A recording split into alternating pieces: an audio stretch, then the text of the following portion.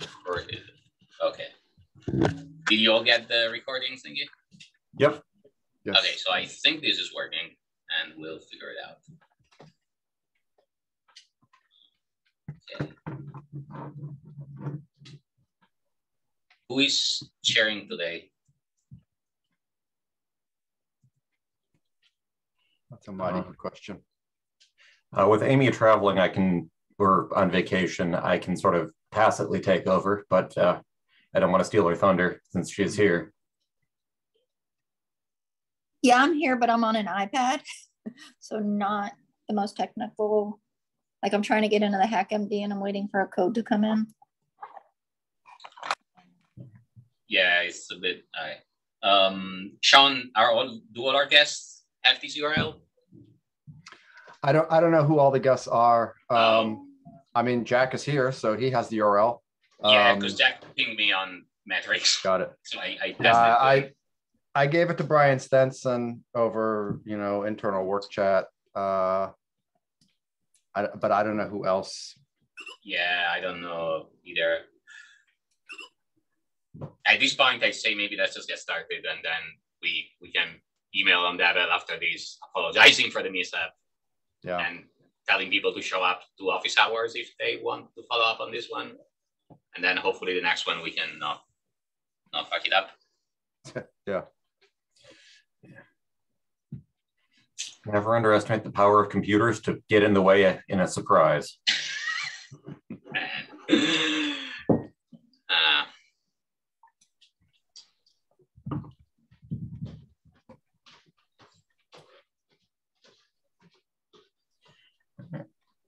So, um, given that we're uh, about 23 minutes into our one hour meeting, I say we just roll with it.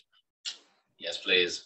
So Sounds like a uh. I'm, I'm going to tacitly chair. Uh, if Amy wants to take it, she's more than welcome. But since she's on an iPad and fighting t- computing, is technology. So uh, the first item on our agenda is to announce our new chair, which is Amy. Congratulations, Amy. Uh, we're super excited. Yay!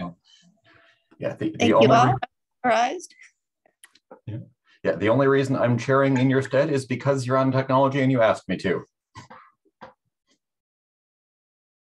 So, uh, let's welcome to Amy. That's going to be super exciting. Did we want to like publish a blog post with some more information and biographical stuff? We should at least make an announcement, um, chair, co-chair, and that way people know who to i- identify if they need, have any concerns or questions. That sounds good to me.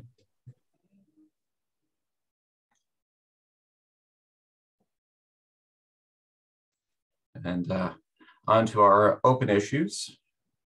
So clarifying the license of the CentOS spec files. Uh, we've effectively inherited them as MIT from Fedora. And so there doesn't seem to be much that we can say about it other than we've inherited from Fedora and they're licensed MIT up here. Here is the link to that. So beyond making sure that we've got a clear link in the issue so that we can prove our position, uh, is there anything else we need to do on this before we close it? Is there anywhere on the website we may want to put that in as well, just so it's easily searchable? That's a good call. Yeah, we should do that. Uh, does anybody know what would be the right place for this? I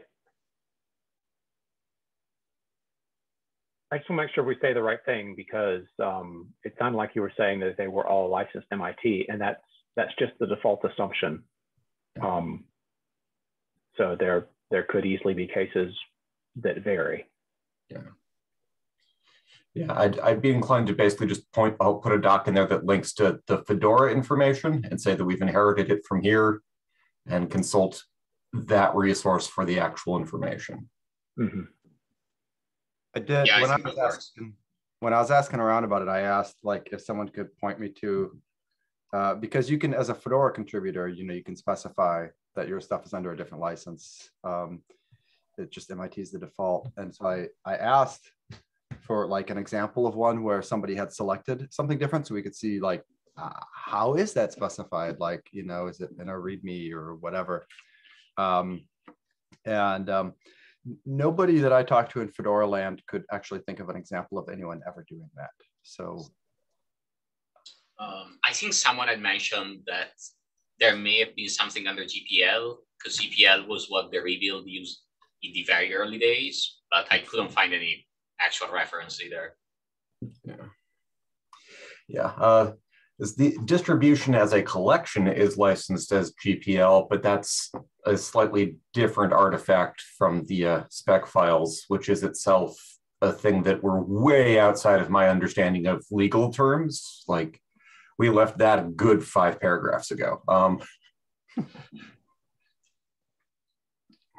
but yeah, I, I know about all of these things, which is not the same as knowing these things.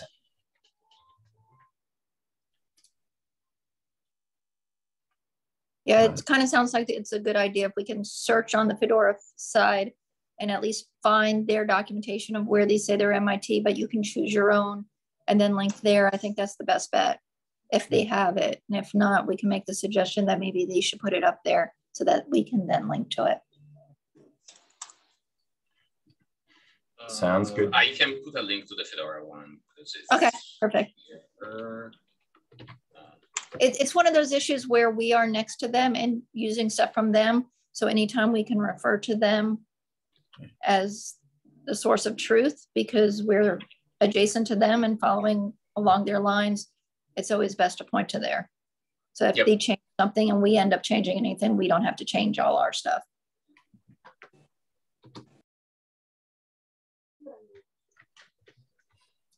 So actually, one example uh, might be Koji, um, because the Fedora spec file for Koji is derived from, um, I, well, except I don't think, yeah, Koji's not in Rails, so never mind. But something else might do the same thing where um, an upstream package provides an provides a working spec file that Fedora then modifies, um, like Koji does and uh, then that spec would probably, if, if say that project were under the GPL or LGPL like Koji is, then um, uh, that would probably be inherited by Fedora spec and then by us. It would still be interesting to see the uh, um, the, the Koji thing just to know how, I don't even know how it's specified, like where it's, like it's, is that put as a like a comment in the spec file itself? Is it in a README next to it in the so just knowing what to look for even you know if, you know. yeah i i i don't know uh, so hmm. it's it's implicit in koji it's implicit because um, uh, when you get the koji upstream code the the licensing term it it uh, it includes the spec file and the license for the entire yeah. block is lgpl um, but I don't think the spec file itself has uh, a license in it, uh, apart from the note that the software as a whole is licensed that way. Yeah, I don't see like a, um, yeah, we don't have a any sort of licensing terms in Koji spec. So I think it's an oversight. I think a lot of a lot of projects and a lot a, a lot of people just don't think about this when they're writing spec files about how, how they're licensed because they're, they're these sort of odd things mm -hmm. that are adjacent to the license code, but not necessarily part of it. Yeah. So it sounds like we're all basically in agreement with what Sean posted eight days ago, which is link to the Fedora agreement and uh, note that people can choose a different one if they want. Yep. So sounds good. Yeah, I think that issue is actually ready to close exactly as is. No extra comments needed. Which uh, brings us over to uh, the uh, Innifer question on Secure Boot, and Brian is here. Brian. Yeah, I don't have anything uh, else on that this week. Um, I, when we had last left off, we were looking at um, uh, at least starting some shopping for the actual hardware to make this stuff happen for the SIGs, and that's still ongoing. So I don't have an update this uh, this time around. Do you have a like tentative ETA? No. All right, we'll bring this up again the next time, I guess.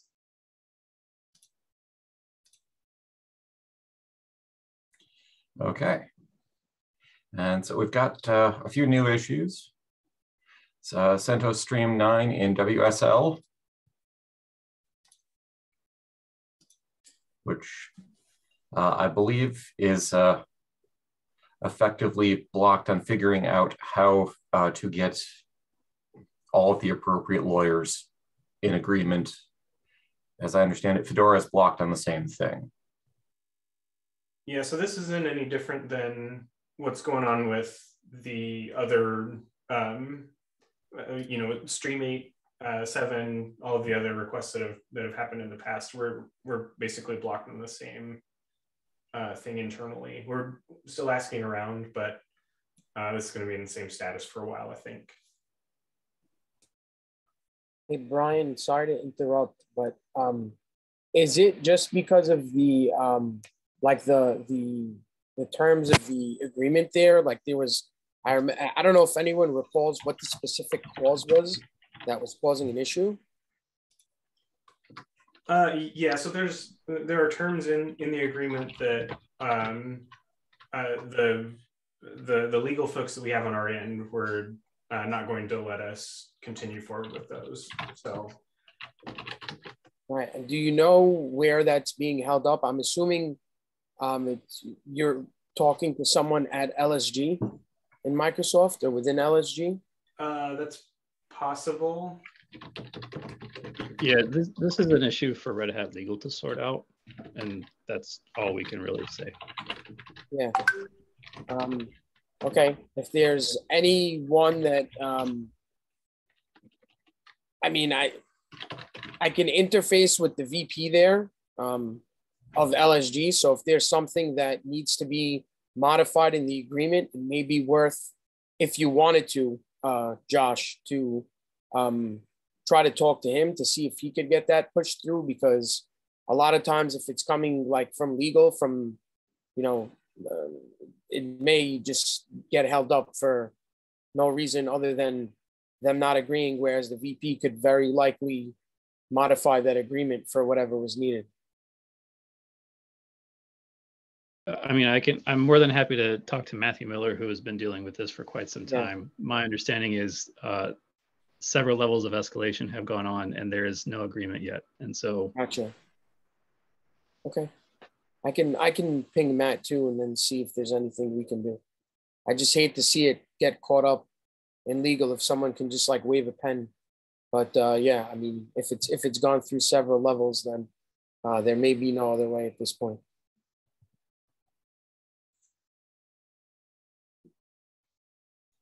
Yeah.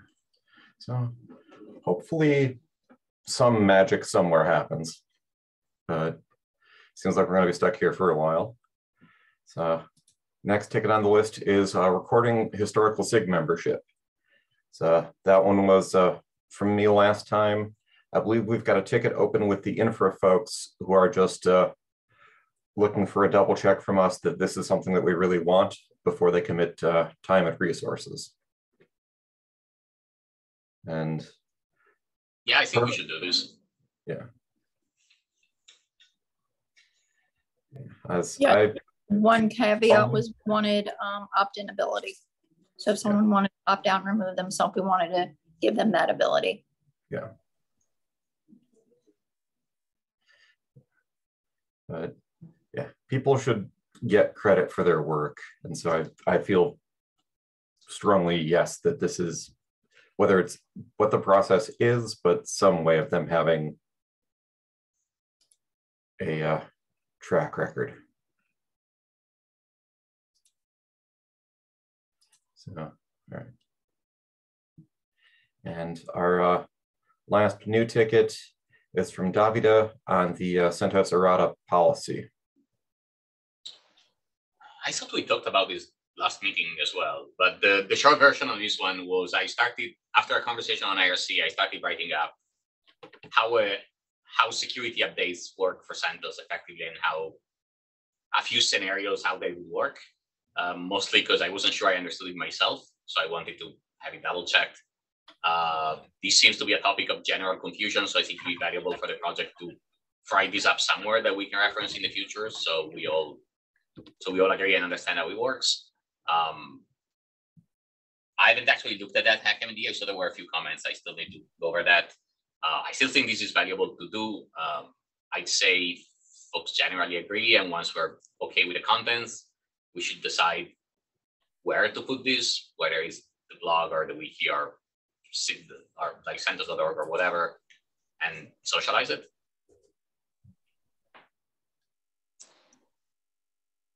Uh, and I just saw Josh that you were applying now. I didn't see your last comment on that ticket. No, it, it's it's okay. Like, I I don't have a problem with um, kind of explaining how sausage is made. That's that's good.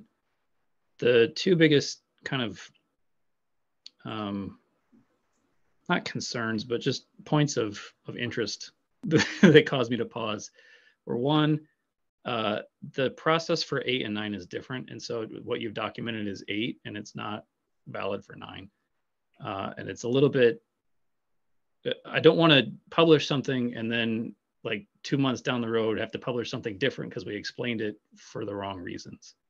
Um, and two i don't understand why we'd center on security issues. Uh, that's a good point. It was mostly because security was the topic of conversation there. We can definitely expand this into cover updates in general. Security i think is interesting because it's the one with the most special casing because I can't really think of many scenarios where a normal update would be embargoed or would go to RHEL first. While I can totally see that happening for security for obvious reasons.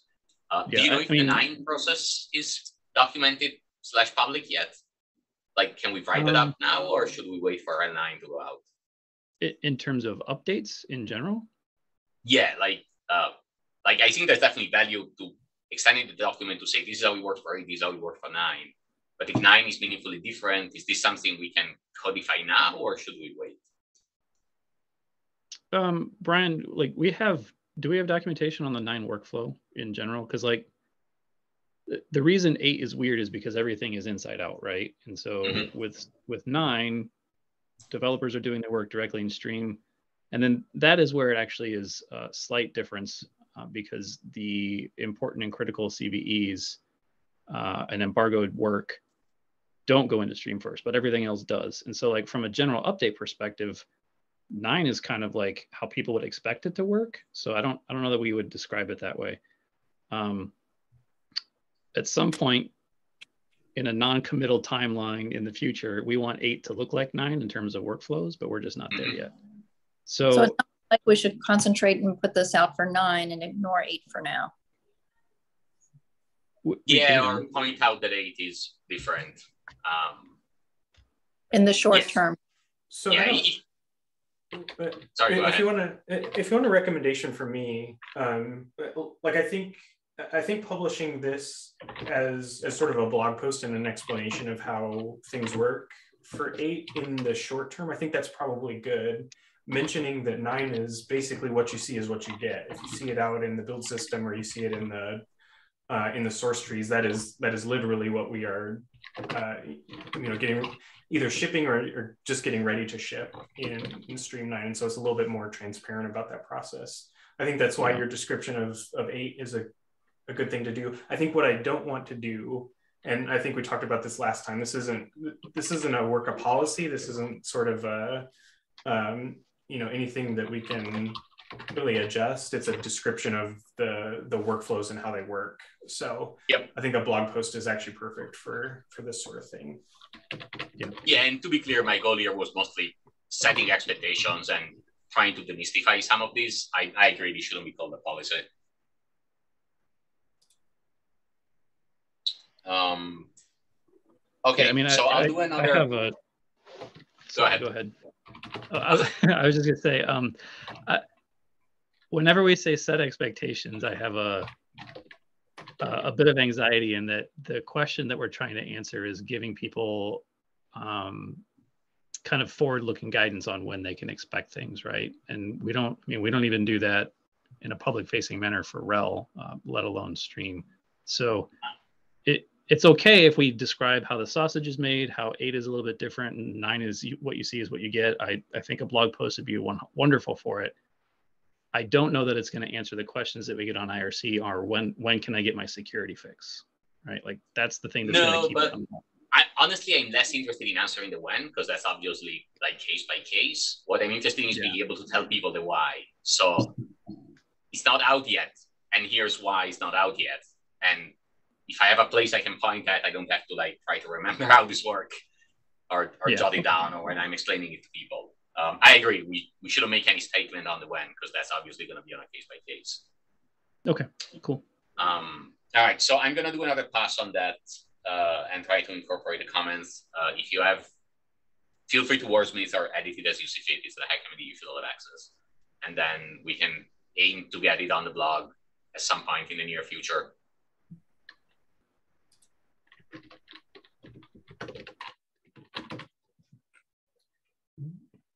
Excellent. Uh, theory, I tried to summarize that discussion in the notes, uh, fix all the stuff I got wrong. So uh, our ongoing issues, uh, number 71 is uh, for typeface and logo deployment. Uh, somebody from the artwork team responded that they were going to be working on something. And I will confess I haven't actually followed back up, but the repo they were pointing to exists and it was updated in the last week.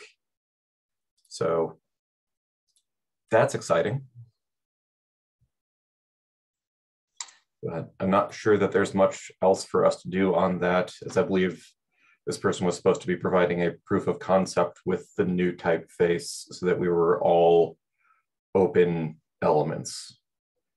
And I don't want to review unfinished work because that's not fair to the person who's doing that work. And uh, then we've got a uh, issue on publication of artifacts. So I think we just need to merge the MR that I made to the SIG guide for that, which I just noticed as a merge conflict now. So I'll rebase that get rid of the conflict, and then hopefully someone can merge it because I don't have access to merge stuff to that repo. Yeah, I read it over and it looked great to me. Uh, admittedly, I'm not like doing any of the actual hands-on work, so I don't have a great feel for it, but it read like a good guide to me. Thank you. And then we've got our uh, traditional on-hold issues uh, about Azure, uh, AMIs in Amazon China, and uh, some more logo stuff, which are all kind of locked down things that we're familiar with. And so uh, with that, we've got our open spot for our community architect. How's it going, Sean? Oh, it's going fine. I would really like to unstick this um, new logo stuff. It's kind of, but anyway. Um, uh, if you let's know see. who to contact on the logo stuff. Uh, we can pro- we can vote over the list if they've got something ready to go and they just Yeah. got locked out due to Zoom being weird today. Right. Okay. Um, uh, the the newsletter will go up uh, soon. The monthly newsletter with the SIG reports. I only got um, two out of the six that are scheduled for this month, um, which brings me to my next point, which is um, I'm kind of as I'm going through these uh, first three months of these kind of um, taking stock of the SIGs to see um, which ones are still active and you know if if if we should be consolidating any of them or or anything like i'm not gonna go put a hammer down on anyone. I'm just trying to um, see where they all are and if you know anybody needs to be unstuck or merged together or or whatever so um, that's an ongoing thing i'll be looking at um, and then uh, there's just two threads that are on CentOS Devel that I want to just call attention to. One is the the proposal for using GitLab uh, for the SIGs. It didn't really have a lot of um, uh, responses to it, and I don't know if we should reach out elsewhere to reach the SIGs um, on that. Um, if people aren't, you know, following CentOS Devel, um, if people would prefer, I, I, well, I could just reply to that thread, I suppose, and ask if they prefer I reach out to SIGs directly. Uh, yeah, I um, think bumping up the thread and maybe like, I think what with my like SIG hat on, I think it was a bit unclear what would you get out of it as a SIG beyond like, oh, you can host repos on GitLab. That's that's cool. And like, sure, I have no issue with that. And like, we already have in our case, one repo on GitLab that I use for secrets because GitLab is the only place with private repos. Uh, but beyond that, it wasn't entirely clear what the like long-term goal of this was. Like, is the plan to eventually move all of the SIG stuff to GitLab? Is this just an alternative? Is this like a testing ground for something? Um, is this something we're doing just for automotive? Which, if that's the case, that's totally fine. But it it wasn't entirely clear to me what the like what you expected people to use this for, I guess. Right, right. That's fair. Um, I, I, I feel, and I feel like it's uh, some of it's in flux because I know that, you know, in Fedora land, like some people are kind of moving to GitLab and some people aren't, and so I think there's there's a trend, but not a um, a wholesale shift. So, um, okay. Um, uh, the only other thing is um, you know, it's not my thing, but Josh's email was it like today about um, about Jira, I think is important for the community. Um, so just want to call attention to that. And uh, I don't know if there's any any place we should be pushing that further or if a sent us CentOS Devel discussion is fine. I think uh, maybe if we find people aren't responding, maybe email the SIG heads and SCC to the Devel list just to bring it to their attention and also point out that maybe they should be on the Devel list if they're not already. Yeah, they should. Yeah, yeah I was gonna say the the Jira one we should share it with Fedora, but I saw you. I see now you already copied Devel, so I think we're good there. Like that one probably got enough distribution. Yeah, it's a, it's a you know a pretty fresh email, so I wouldn't expect that. Not everybody's seen it yet, but okay. It's Wednesday, man. Like I, I, expected, I expected to get vitriol and hate like as soon as I sent it. So. Oh, you sent it on Monday. It's been two days. Oh wow. Yeah. I, well, so if people only read the subject, they may not realize that issues.redhat.com is Jira, so the innate hatred of Jira may not have come out yet. Uh, that was that was not um, an accident. I can start flaming you if that's what you want, but hey, whatever whatever we need to do to have a conversation, that's fine. I don't care. Okay. I even I even expensed flame proof underwear, so it's good.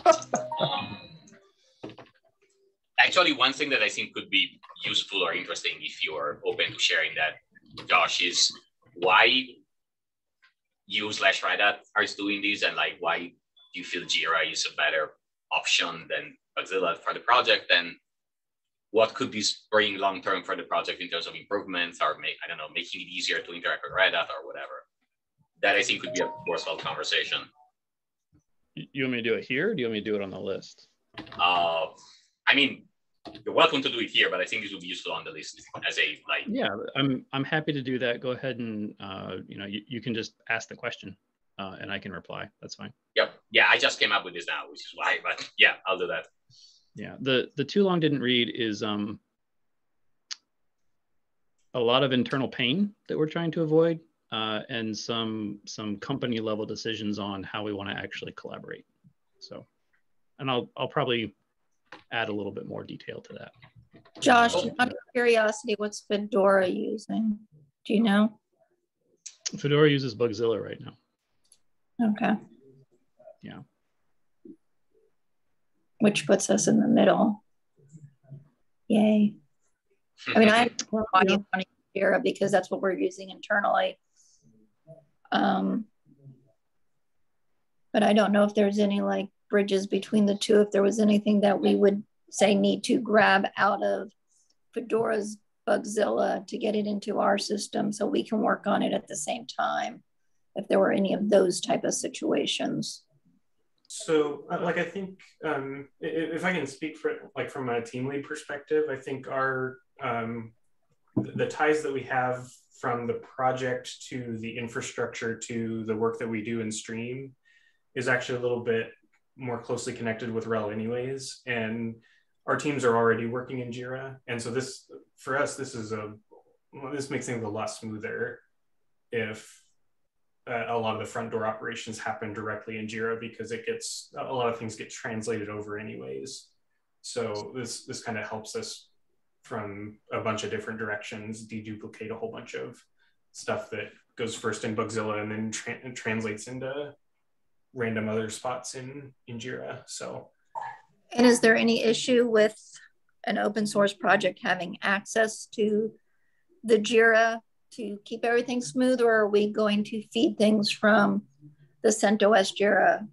Or is it just that use of tools is easier if it's the same tool? I'm just trying to make sure we're not making accidentally making more work. Uh, uh, so what's what's your concern there? Can you yeah? Can you say okay, so are any issues that are related to CentOS put into the same Jira instance that we're using internally, or are yeah. we going to have? Okay, then that answers the question. Well, so as yeah, long we, as everyone has the access to we, the same stuff. Oh, we have. Be, oh, go ahead, Josh. so uh, I say yes, but when I say yes, that is the intention. We haven't actually figured out like uh, we have a lot of time before this happens, and so that is part of the discussion we need to have. Is like how do we actually land uh, like issue tracking or whatever in um, for CentOS Stream uh, in a place where it makes sense. Um, the issues.redhat.com is publicly accessible and the permissions on that are per project. Uh, I believe the existing CentOS Stream project is defaults to public. Is that right, Brian? Yeah, that's right. But that doesn't necessarily mean that's exactly the project we're going to use. And so that's something we have to figure out. But the intention is to have it all in, in issues.redhat.com uh, and not make people have to like deal with private comments and private things. And like that's kind of antithetical uh, to what we're trying to accomplish. Okay, perfect that is much appreciated. Brian, does that like is that kind of what you were going to say? Yeah, that's that's basically it. I think the so there's a like to to pull back the curtain a little bit. There's a whole bunch of activity going on around uh, seeing what you know only Jira means for all, all different parts of the company. And CentOS Stream is is pretty well plugged into that process, and our requirements are you know ex- accepting bugs from a, a public place and you know being able to to sort of influence bugs at different processes in the RHEL uh, in the RHEL procedure that those are our two main use cases. So we're we're well represented there. Yeah. And if a community member outside of red hat wants to work on the bug they'll have the same level of access that they'll need to work on it uh, yeah, so that it, it, would be just like the really similar to the access that they would have in Bugzilla. Okay, perfect. That was my main concern.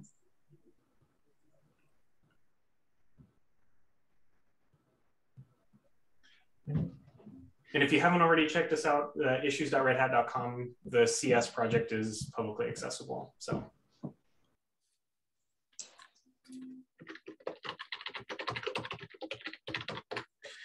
Did I uh, roughly summarize that correctly, uh, Brian? I I need to learn JIRA so I understand what any of those words mean, but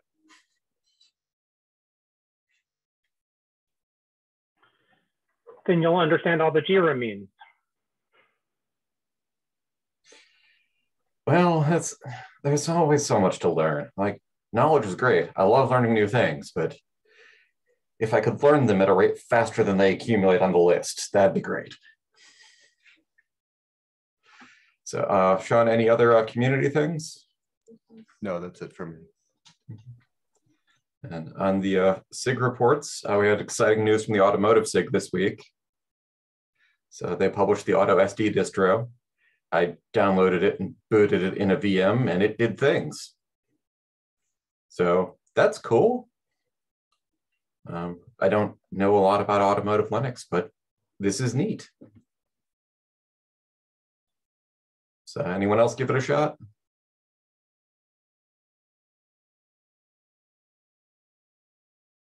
No, but now I feel compelled to. So You should. It's cool. I've downloaded it but not played with it yet. Very interested in getting into that and seeing what they're doing. Yeah. Admittedly, part of my, you know, not so passive interest in atomic updates and whatnot translates into this, but it's a cool little thing. And uh, anyone have any other business that they'd like to get on the list?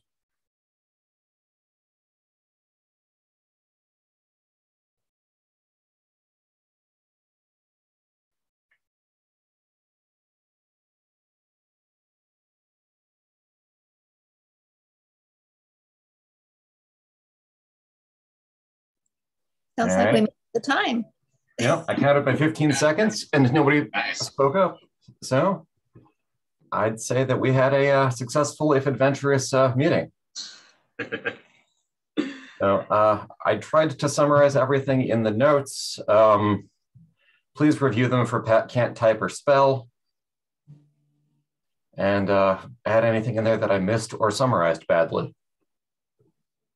And failing that, I will see you folks at the uh, office hours and uh, hope that everything continues to go well. Thanks Yeah. for sharing. That. Yeah, uh, thanks for uh, giving me a spot, Amy. I, I'll look forward to having you uh, not on vacation so you can run the show yourself, but you're on vacation, so I'm excited that you spent some time with us anyway. Yep. All right, take care. Take care all. Bye, everyone. Bye, folks.